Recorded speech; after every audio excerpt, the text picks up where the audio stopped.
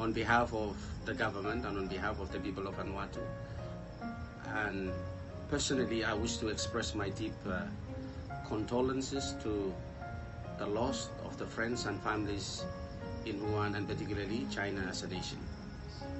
I still believe that China as a nation has the resources to combat this coronavirus. China will recover from this coronavirus and China as one of the most and fastest growing economy will also recover from the devastation that they had experienced from this virus. Again, I wish to express my sympathy. My prayers are with you, China, and I still believe that you have the capacity to deal with the coronavirus.